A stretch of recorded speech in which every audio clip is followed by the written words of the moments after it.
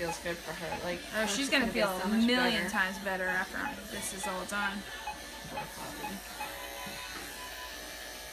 How would you?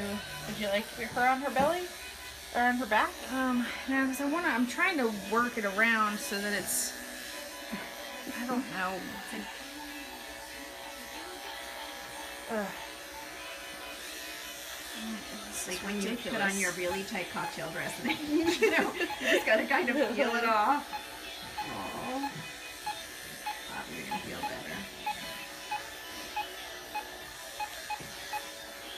Make sure your couple blades don't get too hot. Yeah, that's what I was feeling.